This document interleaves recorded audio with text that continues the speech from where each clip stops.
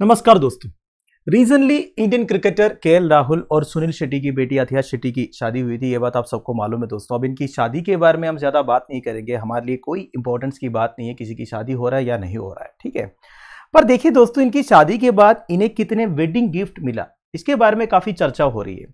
तो हम ये देखेंगे दोस्तों, ये जो वेडिंग गिफ्ट इन्हें मिल रहा है, क्या ये टैक्सेबल है अंडर इनकम टैक्स एक्ट 1961 ये सवाल काफ़ी लोगों के मन में आया होगा, क्योंकि जिस हिसाब से रिपोर्ट्स सामने आ रहा है, लिस्ट बहुत लंबी है। जैसे कि इन्हें 50 करोड़ का घर मिला है, सलमान खान ने 1.64 crore worth Audi car gift दिया है, सुनील शेट्टी का दोस्त जाकी श्रॉफ ने 30 लाख रुपीस का वॉच दिया है, अर्जुन कपूर ने 1.15 crore worth diamond bracelet gift दिया है, विराट कोहली बी कार दिया है 2.17 करोड़ वर्थ, महेंद्र सिंह धोनी ने कवासा की निंजा बाइक दिया है, वर्थ रुपीज़ एटी लाख। अब ये रिपोर्ट्स सच है या नहीं? हम ये देखेंगे क्या wedding gift income tax act 1961 के अंडर एग्जाम्प्टेड है या नहीं। Section 56 of the income tax act में taxation of wedding gift received के बारे में लिखा हुआ है। देखिए any gift received by newly wed couples और individuals on the occasion of their marriage is exempt from taxation तो बेसिकली वेडिंग गिफ्ट एग्जाम्प्टेड है under section 56 of the income tax act मतलब शादी के टाइम पर कपल्स को जो gift मिल रहा है या फिर एक इंडिविजुअल को जो गिफ्ट मिल रहा है they are exempted from taxation under section 56 of the income tax act 1961 पर देखिए दोस्तों section 56 of the income tax act में यह भी लिखा हुआ है कौन कौन से प्रॉपर्टीज़ एग्जैक्टली एग्जाम्प्टेड है टैक्सेशन से? ऐसा नहीं कि शादी के टाइम पर आप कुछ भी दे दो, उसके ऊपर टैक्स नहीं लगेगा। Number one land and building जिसे आप इमूवेबल प्रॉपर्टीज़ बोल सकते हैं। फिर देखिए ज्वेलरी ज्वेलरी में देखिए ऐसे ऑर्नामेंट्स आएँगे जो गोल्ड से सिल्वर से या प्लैटिनम से बना हुआ है। और उसके साथ अगर कोई प्रेशियस स्टोन या फिर कोई सेमी प्रेशियस स्टोन अटैच्ड है, उसे भी कोई फ़र्क नहीं पड़ता। शेयर्स एंड सिक्योरिटीज भी इन्वॉल्व है दोस्तों। बेसिकली जो डिबेंचर्स होता है बॉन्ड्स होता है, अगर ये भी गिफ्ट करते हैं ना, ये भी एग्जाम्प्टेड है टैक्सेशन से। बुलियन बुलियन मतलब देखिए gold and silver in its purest form, pure gold या प्योर सिल्वर भी आप गिफ्ट कर सकते हैं। कोई कॉस्टली ड्राइंग्स आप गिफ्ट कर सकते हैं archaeological collection paintings sculpture any work of art मतलब देखा जाएगा तो इसमें majority of the properties included है। वैसे आप पैसे भी रिसीव कर सकते हैं, पैसे के ऊपर भी टैक्स नहीं लगेगा। अगर वो पैसे ऐसे वेडिंग गिफ्ट आपको मिल रहा है। नौ शादी के टाइम पर आपको जो गिफ्ट मिल रहा है, उसके ऊपर टैक्स नहीं लगेगा यह तो हमने देख लिया। अब हम देखेंगे शादी को छोड़ के जो गिफ्ट मिल रहा है, उसके ऊपर क्या टैक्स लगता है? इसके बारे में भी इधर बताया हुआ है दोस्तों। Any gift receive with value up to rupees fifty thousand in one year is not taxable मतलब एक साल में फिफ्टी थाउज़ेंड वर्थ गिफ्ट आप रिसीव कर सकते हो। उसके ऊपर टैक्स नहीं लगेगा। आप इसमें भी कुछ कंडीशन है दोस्तों। अगर आप, आपका कोई रिलेटिव से गिफ्ट रिसीव कर रहे हैं, उसका कोई लिमिट नहीं है ये पचास हज़ार वाला जो लिमिट है ना ये रिलेटिव्स को छोड़ के अगर आप दोस्तों से रिसीव कर रहे हो और किसी से रिसीव कर रहे हो उसके बारे में कहा हुआ है। उसका लिमिट है पचास हज़ार एक साल का। पर आप रिलेटिव से without any limit gift receive कर सकते हैं अगर रिलेटिव्स आपको देने के लिए तैयार है। फॉर एग्ज़ाम्पल अगर आपको आपका भाई पचास हज़ार रुपये गिफ्ट दे रहा है तो उसके ऊपर कोई टैक्स नहीं लगेगा। नो no, मैंने आपको बोला आप रिश्तेदारों से कितने भी अमाउंट का गिफ्ट रिसीव कर सकते हैं कोई टैक्स नहीं लगेगा। पर देखिए इनकम टैक्स एक्ट 1961 रिलेटिव्स को भी डिफेन किया हुआ है। कौन कौन आते हैं रिलेटिव्स में? Number one spouse of the individual मतलब वाइफ या हस्बैंड ठीक है? ब्रदर और सिस्टर ऑफ़ द इंडिविजुअल भाई, बहन, फिर ब्रदर और sister of the spouse of the individual आपकी जो पार्टनर है हस्बैंड हो या वाइफ हो, उनके जो भाई, बहन है। फिर ब्रदर और sister of either of the parents of the individual मतलब आपके पेरेंट्स के जो भाई बहन है, वो भी आएँगे। एनी लीनियल एजेंडेंट और डिजेंडेंट ऑफ़ द इंडिविजुअल आपका जो बेटा है, बेटी है फादर है मदर है साथ साथ में आपका पार्टनर का भी फादर मदर फिर देखिए spouse of the person refer to in clauses two to six मतलब देखिए जितने मैंने आपको टू टू फोर में बोला, इन सबके जो पार्टनर्स है वाइफ या हस्बैंड है, वो भी इंक्लूडेड है। In case of a Hindu undivided family any member thereof एक हिंदू अनडिवाइडेड फैमिली का कोई भी मेंबर रिलेटिव्स में आएगा, ठीक है? तो ये सारे जो है रिलेटिव्स में काउंट होते हैं। फाइनली रिलेटिव्स को छोड़ के और कोई अगर आपको गिफ्ट दे रहा है, क्या उसके ऊपर टैक्स लगेगा?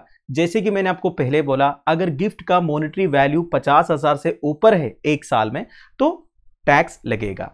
जैसे कि अगर आपका एक दोस्त ने आपको पैंतीस हज़ार वर्थ एक गिफ्ट दिया, कोई टैक्स नहीं देना है, पर आपको फिर से गिफ्ट मिल रहा है, बीस हज़ार का, पच्चीस हज़ार का तो टोटल मोनिटरी वैल्यू जो है पचास हज़ार से ऊपर हो जाएगा, तब आपको टैक्स देना हो। और एक पॉइंट अगर आपको कोई प्रॉपर्टी गिफ्ट दे रहा है, उसके ऊपर कैसे टैक्स लगेगा? देखिए, जब वो प्रॉपर्टी आपके ऊपर रजिस्टर होगा तो स्टैंप ड्यूटी तो देना होगा ना तो वो स्टैंप ड्यूटी का जो वैल्यू है, वो अगर पचास हज़ार से ऊपर है तो स्टैंप ड्यूटी वैल्यू के ऊपर टैक्स लगेगा।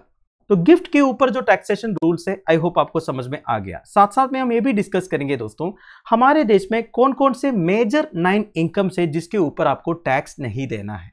वैसे देखा जाएगा तो बहुत सारे इनकम सोर्सेस है मेजर नाइन के बारे में हम डिस्कस करेंगे। नंबर वन एग्रीकल्चरल इनकम देखिए, आप सबको पता है इंडिया जो है प्राइमरली एक एग्रेरियन इकोनॉमी है। तो एग्रीकल्चरल सेक्टर को बूस्ट देने के लिए एग्रीकल्चरल इनकम को एग्ज़ाम किया हुआ है। ठीक है? Second is receive from Hindu undivided family देखिए हिंदू अनडिवाइडेड फैमिली के जितने प्रॉपर्टी है दोस्तों, या फिर उस फैमिली से बिलोंग करने की वजह से अगर एक इंडिविजुअल को कोई इनकम मिल रहा है तो ये भी एग्जाम्प्टेड है। तीसरा shares from a partnership firm देखिए, कोई भी पार्टनरशिप फेम का शेयर्स आपके पास है, उसके ऊपर भी आपको टैक्स नहीं देना है। कहने का मतलब यह है दोस्तों, मान लीजिए आप एक पार्टनरशिप फेम का शेयर होल्डर हो तो वो फेम का जो टोटल इनकम होगा, उसका एक शेयर आपको मिल जाएगा ना? वो शेयर के ऊपर आपको टैक्स नहीं देना है, ये कह रहा है। अगला है लॉन्ग टर्म कैपिटल गेन्स इसका मतलब क्या होता है दोस्तों? देखिए, अगर आपने कोई लॉन्ग टर्म इन्वेस्टमेंट करके रखा है इक्विटी में म्यूचुअल फंड्स में एक्सेट्रा तो अगर आपका इन्वेस्टमेंट एक साल से ज़्यादा का इन्वेस्टमेंट है, जो रिटर्न्स आपको मिलेगा ना, उसके ऊपर भी आपको टैक्स नहीं देना है। फिर देखिए allowance for foreign services any Indian resident rendering service outside the country and receiving any allowances और perquisites outside the country remain tax free under section ten clause seven of the income tax act अगर आप कोई foreign services provide कर रहा है। मतलब देश के बाहर आप सर्विसेज़ प्रोवाइड कर रहे हो, उसके लिए आपको पैसे मिल रहा है। उसके ऊपर भी आपको टैक्स नहीं देना है। अगला है इनकम फ्रॉम ग्रेटिविटी ग्रेटिविटी का मतलब क्या होता है दोस्तों? ग्रेटिविटी बेसिकली ग्रेटिट्यूड का पार्ट है। मान लीजिए आप एक कंपनी में तीस साल के लिए सर्विस किया। तीस साल के बाद आपका रिटायरमेंट का टाइम आ गया। तो रिटायरमेंट के टाइम पर आपको आपके मेरिटोरियस सर्विस के लिए कंपनी एक लमसम अमाउंट पे करेंगे। उसे ग्रेट्युटी बोलते हैं। अब ये ग्रेटुटी कैलकुलेट करने का एक फॉर्मूला है। बेसिकली आपने कितने साल सर्विस किया, आपका रिटायरमेंट के टाइम पर बेसिक पे क्या है डियरनेस अलावेंस क्या है, वो सब के ऊपर ग्रेटुटी कैलकुलेट होता है। तो जो ग्रेटुटी अमाउंट आपको मिलेगा ना, उसके ऊपर भी टैक्स नहीं लगेगा। अगला है स्कॉलरशिप्स और अवार्ड्स। ये तो आप समझ गए दोस्तों, अगर आपको कहीं से स्कॉलरशिप मिल रहा है, ग्रांट मिल रहा है, कोई अवार्ड मिल रहा है, उसके ऊपर टैक्स नहीं लगेगा। फिर amount received under voluntary retirement voluntary retirement मतलब क्या होता है दोस्तों? देखिए, आपने वीआरएस के बारे में सुना होगा ना वॉलंटरी रिटायरमेंट स्कीम मान लीजिए, आप एक कंपनी में काम कर रहे हो और आपका सर्विस बचा हुआ है बेसिकली आपका रिटायरमेंट एज आ रहा है तीन साल के बाद और आप ये डिसाइड करते हैं वॉलंटरी रिटायर करने के लिए। तो आपका जो बचा हुआ सर्विस है ना, उसके हिसाब से आपको एक लमसम अमाउंट पे किया जाता है, ठीक है? उसे वीआरएस बोलते हैं। तो अगर आपका जो लमसम अमाउंट है, वो पाँच लाख से कम है, तब आपको टैक्स एग्जामेशन मिल जाएगा।